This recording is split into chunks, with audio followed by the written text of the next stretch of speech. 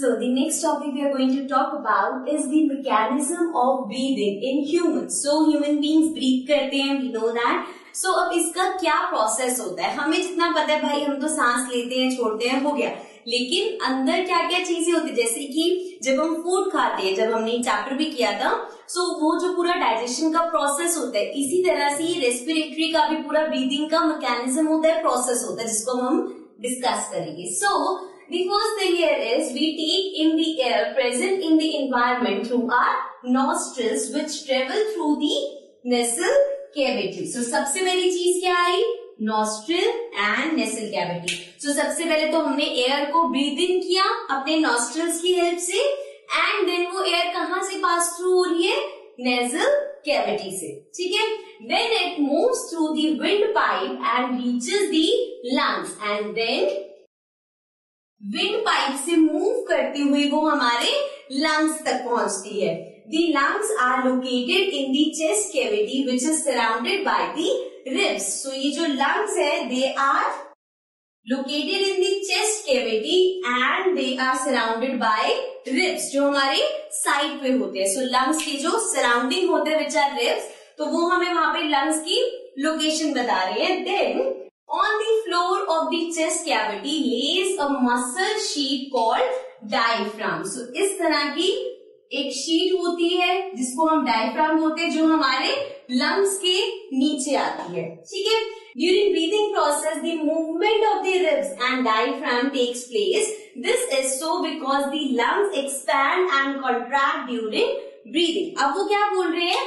कि जब हम ब्रीथ करते हैं तो क्या होता है? रिब्स का और डायफ्राम की मूवमेंट होती है। और क्यों होती है वो मूवमेंट बिकॉज़ जब हम एयर टेक इन करते हैं तो हमारे लंग्स एक्सपैंड करते हैं। एंड जब when we exhale out air तो क्या होते हैं वो?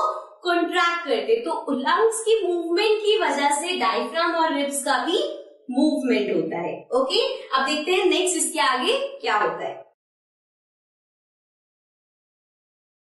हाँ तो अभी तक हमने पढ़ लिया कि भाई जब हम ब्रीद इन करते हैं और ब्रीद आउट करते हैं, जो लंग्स हैं, वो क्या होते हैं? कॉन्ट्रैक्ट होते हैं और एक्सपैंड होते हैं। और उसी के साथ जो डायफ्राम है, वो और रिब्स मूव करते हैं। करेक्ट आगे है as we take in the air it fills up the lungs so जब हम एयर इनटेक करते हैं तो लंग्स फिल अप होते हैं। This move the diaphragm downwards and the ribs out outwards तो क्या होता है?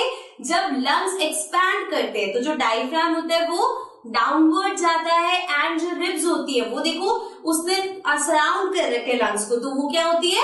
आउटवर्ड जाएगी। ओके बिकॉज़ चलो, एक एक करके बात करें तो अगर लंग्स है और उसके सराउंडिंग में रिब्स है तो जैसे ही लंग्स एक्सपैंड होंगे तो रिब्स आउटवर्ड जाएँगे।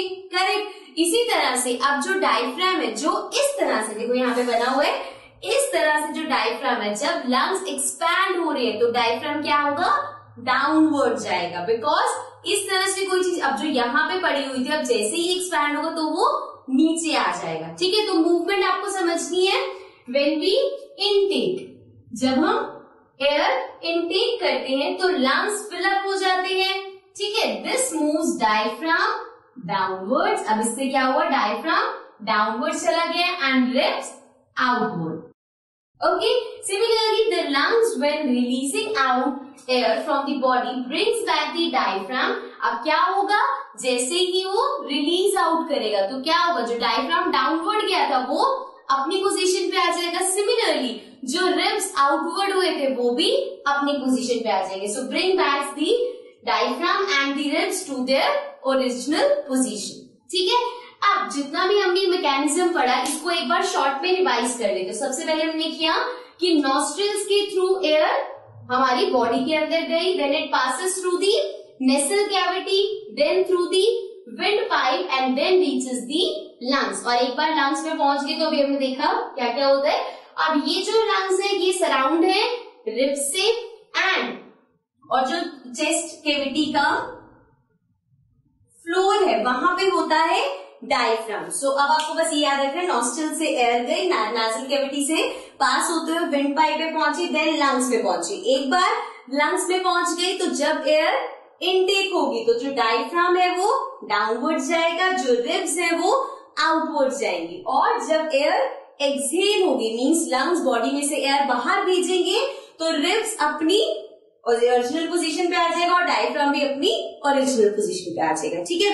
अगर आपको ये इतना सा समझ आ गया तो जितना भी हमने थ्योरी किया, वो सब क्लियर हो जाएगा बिकॉज़ देन आप अपने वर्ड्स में लिख सकते हो, ठीक है? थ्योरी पढ़ के आपको लग सकता है कि भाई कितना लेंदी है बट यहाँ पे आपको समझ आ जाएगा कि सिर्फ़ दो या तीन पॉइंट्स में ये पूरा मैकेनिज्म खत्म हो जाएगा। तो आप इसको अपने वर्ड्स में लिख सकते हो, ठीक है? Now we move to the next topic